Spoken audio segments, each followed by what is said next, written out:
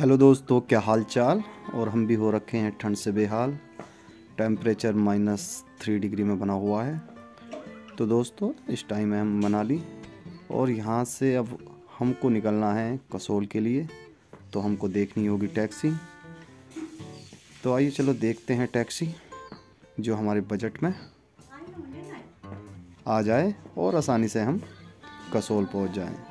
क्योंकि हमारा यहाँ मनाली आने का जो प्रोग्राम बना था, वो यहाँ पर अटल टनल वगैरह हैं, उनको देखने के लिए पर बर्फ़बारी ज़्यादा हो रखी है तो वो सब रास्ते बंद हो रखे हैं। तो वहाँ पर हम पहुँच नहीं सकते तो अब हमारा यहाँ से सब प्लान कैंसिल हो चुका है और यहाँ से अब हमारा प्लान जो है जाने का, वो कसोल के लिए है। और कसोल से फिर हम निकलेंगे माड़ा गाँव के लिए। आपने माड़ा गाँव का नाम सुना होगा, काफ़ी खूबसूरत है। तो आइए चलो देखते हैं यहाँ से टैक्सी, हमको कितने रुपए में मिलती है, और उसके बाद हम यहाँ से निकलते हैं कसोल के लिए। तो बने रहिए आप वीडियो पर, काफ़ी इन्जॉय आपको आने वाला है। आगे चलकर वीडियो में।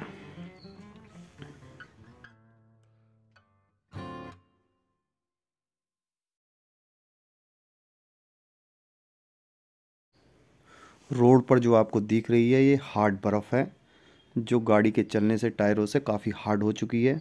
ये इस तरीके की बर्फ़ हो चुकी है, जैसे आपने पुराने ग्लेशियर देखे होंगे, जैसे गोमुख जहाँ से गंगा जी निकलती हैं, उनके ऊपर जो ग्लेशियर होते हैं पुराने, वो इस तरीके के हार्ड ग्लेशियर होते हैं।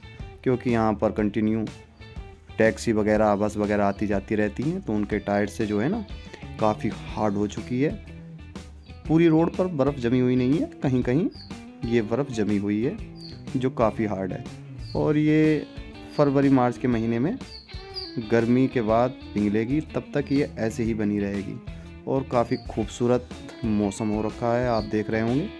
आसमान में बादल छाए हुए हैं, जो काफ़ी खूबसूरती बढ़ा रहे हैं मनाली के वेदर का, और काफ़ी ज़बरदस्त व्यू बनाते हैं। इसीलिए ये मनाली को यहाँ पर जाना जाता है, क्योंकि यहाँ पर हर घंटे में मौसम चेंज होता रहता है और काफ़ी खूबसूरत व्यू यहाँ पर हर दो घंटे बाद बदलता रहता है और बनता रहता है। तो आइए दोस्तों चलते हैं आगे की ओर और, और देखते हैं टैक्सी वाले भाई को क्योंकि उसने हमें बोला था कि वो हमको आगे मिलने वाला है। तो दोस्तों यहाँ से हम जाने वाले हैं कसोल और कसोल से 30 से 35 किलोमीटर चलने के बाद आता है मनाला गाँव के लिए ट्रैक, जहाँ से ट्रैकिंग कर कर मनाला गाँव जाया जाता है। पर यहाँ पर आपको एक ध्यान रखना है, आप कभी भी यहाँ घूमने के लिए आते हैं तो यहाँ पर कुछ अजीब व गरीब नियम हैं, जो आपको ज़रूर जान लेने चाहिए। आप जब भी माड़ा गाँव, यानी मनाला गाँव जाते हैं तो वहाँ पर आप किसी भी चीज़ को, वहाँ के मंदिर टेंपल जो भी बने हुए हैं, उनको आपको नहीं छूना है। अगर आप मंदिर को किसी भूलवश छू लेते हैं तो यहाँ पर आपको लगने वाला है डायरेक्ट दो हज़ार से पाँच हज़ार रुपये का जुर्माना।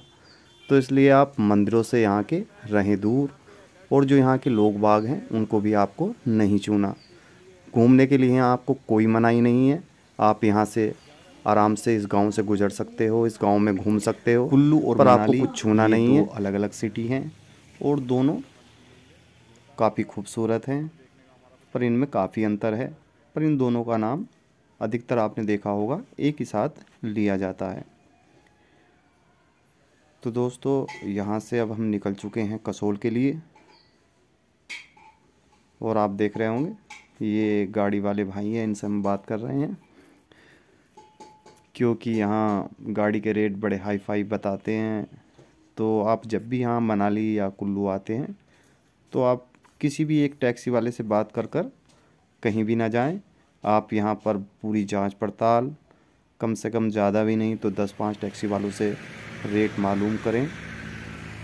कसोल जाने के लिए कहीं भी आप जाते हैं तो कम बढ़ती आपको रेट हो सकते हैं। क्योंकि जब हमने पहली बार पूछा तो यहाँ पर तीन हज़ार रुपये से लेकर साढ़े तीन हज़ार, चार हज़ार रुपये तक बताए। और लास्ट में हमको यहाँ पर दो हज़ार रुपये में टैक्सी मिल गई। तो ये सब जब हमने जानकारी ली बार बार तो कसोल कितनी दूर होगा यहाँ से? क्यों भाई साहब? उसके बाद कसोल कितनी दूर होगा यहाँ से? ये इतने पैसों में एक घंटा लगेगा टैक्सी वाला मिल गया। डेढ़ घंटा मतलब किलोमीटर में कितना होगा? पर जब भी आए पिचासी। तो होटल अच्छा, वगैरह में भी 85 अगर आप। जाते हैं। अच्छा एक बात तो तो बताओ जैसे कसोल है कसोल के पास माणा मलाना वगैरह। माड़ा भी पड़ता है क्या? हाँ। है? तो गाड़ी जा रही होनी अभी, बर्फ़ पड़ी तो बीच में कोई जगह है? कसौल ही है। नहीं बीच में कसोल से पहले कोई जगह चलो अब बात करते हैं बैठ के बात करते हैं तुमसे देखने के लिए कुछ नहीं है हाँ मे, मेन जो है वो कसोल ही सही बोल रहे हो। नहीं जहाँ हम कहेंगे वहाँ तो हाँ। हाँ थोड़ा सा जैसे ब्रेकफास्ट नाश्ता वास्ता थोड़ा बीच में करना है तो थोड़ा बहुत है ना। अब पीछे पर्यटक भी फंस गए थे यहाँ जब बर्फ़ पड़ी अच्छी बर्फबारी हुई है इस बार? पिछले साल से याद है।